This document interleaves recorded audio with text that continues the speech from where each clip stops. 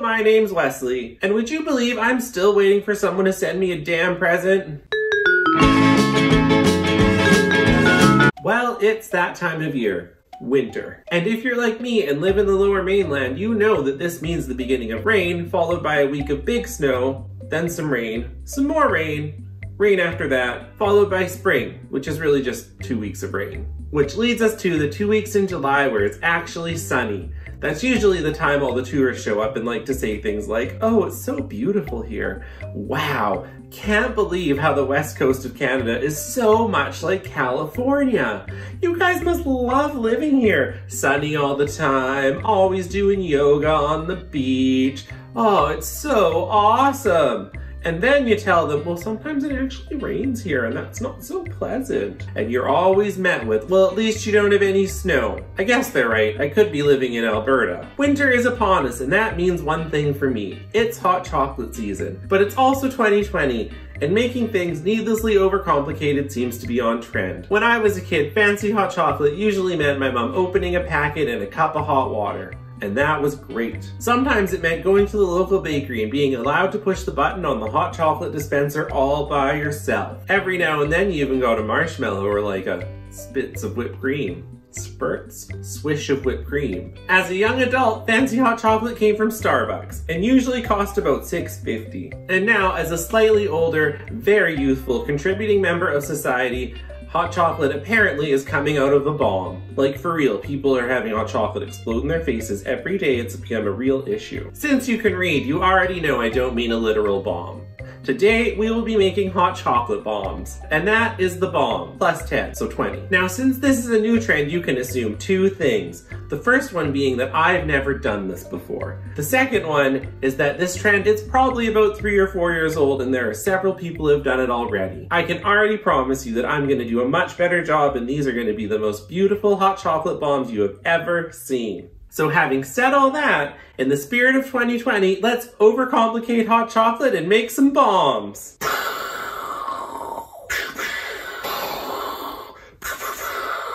Guess that's more like fireworks.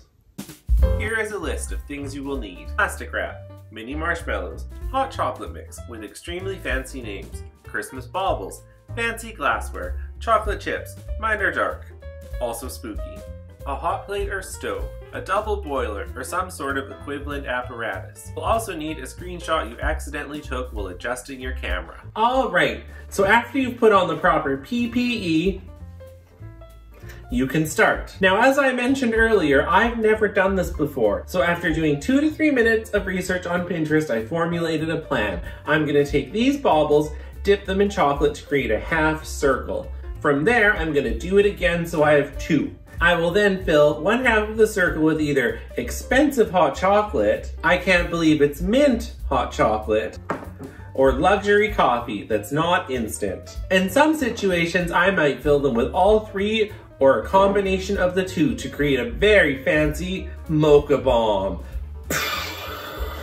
Whoa, mocha bomb! Radical! Tubular, dude! I love mocha! Sure, that's what all the kids are drinking mocha from a bomb. Mocha bomb!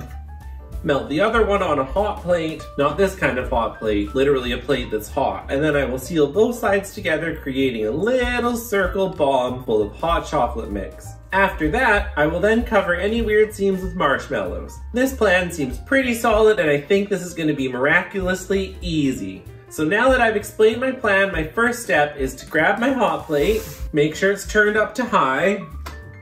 Good.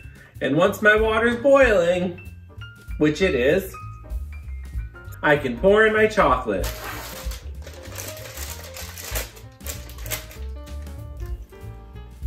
So you may have noticed that the bag of chocolate I poured into this bowl was empty, but somehow there's chocolate in it. No, I promise I'm not a witch. This is actually the second time I've done this. The first time, the clip that holds my phone in place while I film came loose, and it was mostly just footage of the ceiling. And while I'm sure you would all love to see footage of my ceiling, I decided to film it again. Okay, alright. So while my chocolate is melting, my next step is gonna be to cover these baubles in plastic wrap.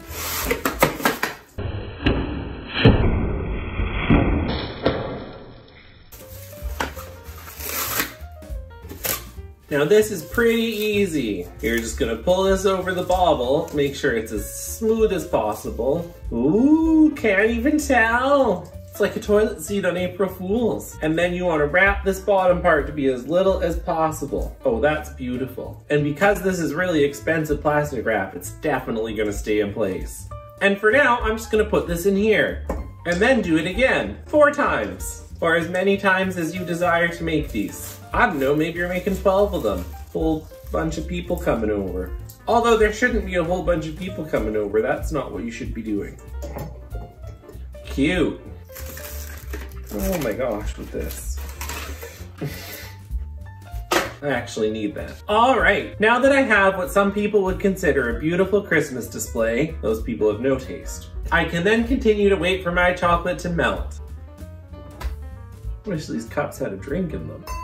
Oh, it's ready, it just dinged. Looks good, smells nice. All right, so now that my chocolate is melted, it resembles a very thick soup. Delicious. So my next step is to just take the balls and dip them in. Now I'm spinning them around to make sure I get an even consistency. Perfect. And then you just set this down in here and let it harden. Let's do another. Gorgeous. So now that they're all done, I'm just gonna pop them into the freezer and wait for them to harden. They should probably take between half an hour to 45 minutes. So while my shells are in the freezer, I can prepare for my next step. I'm just gonna take this chocolate off of the pot and replace it with a plate. So I'm doing this in order for my chocolate to cool down a bit so I'll be able to use it to attach the marshmallows without them melting through the shell. I'm also getting this plate ready to melt the edges of the shells together. So while my plate heats up and my shells are in the freezer hardening, now is the best time to tell you that like Martha Stewart, not only do I look good in pastels, but I happen to have some already made right here. So our next step is just to melt the edges of these a little bit so that they're perfectly flat, which will make them easier to attach. Ah, it melts really fast. Okay, my shells, they look pretty okay. I mean, they're super fragile and no one told me that was gonna happen. Thanks, Pinterest, what a jerk. However, we're just gonna pour hot milk on them, so really, is there a point? This is a fun at home project. We're not professionals. Okay, well, I'm, I'm a professional at everything. So now that these are mostly flat, I picked the three that look the most solid. I can see that some of them have a couple weak points that I can see through them a bit. This one has a hole in the side. I mean, that's not gonna help me really. But so I picked the three that look the best and I'm just gonna fill them with different mix-ins. I can't believe it's not mint. Who names these things? So I'm just gonna put in a few spoonfuls and hope that that's enough to make it delicious. If it's not, whoever drinks this will just have to pretend it is. Come on, be nice. The next one's just regular hot chocolate. Oh, with tiny marshmallows. It has tiny marshmallows. That's nice. People love that. I know it's probably way too much. And this one's gonna be very special. Mocha! With tiny marshmallows, I guess. Not picking them out.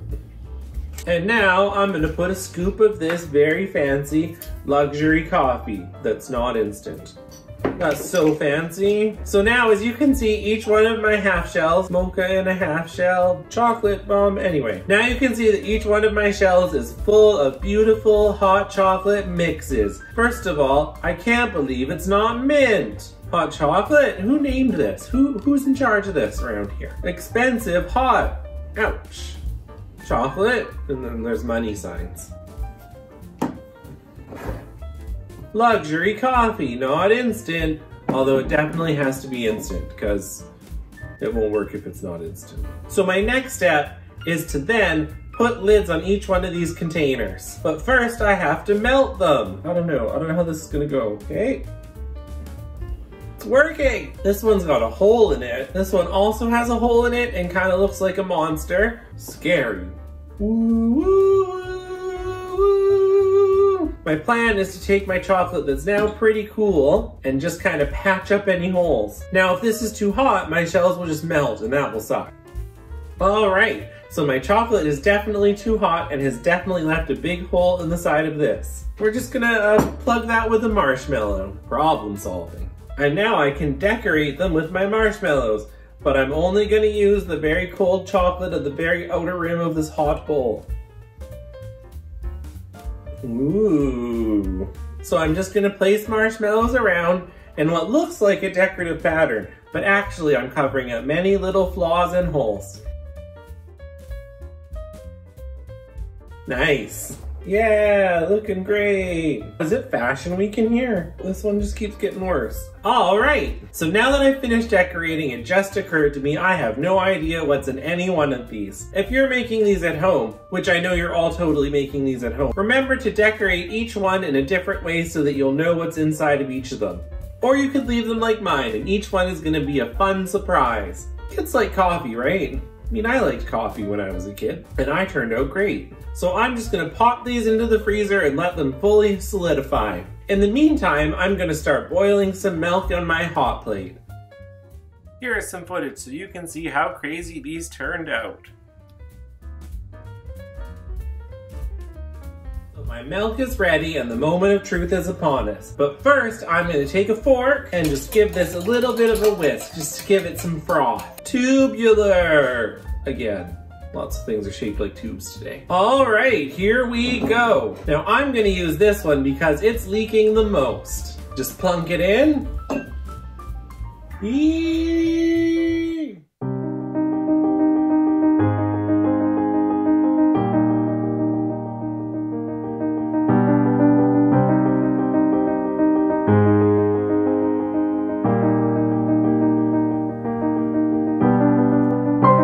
Wow, that's the best hot chocolate I ever tasted. Now that that whole ordeal is done, I can tell you, that was one of the funner projects I've done in my life, but definitely not what the internet told me it would be. Pinterest told me this was a fun activity for the whole family. Kids would love it, parents would enjoy it. First of all, there's so much cleanup with melted chocolate. My kitchen looks like it's full of poop. Secondly, I found that project lots of fun, but I enjoy things like crossword puzzles, filling out paperwork, word searches, analytical thinking.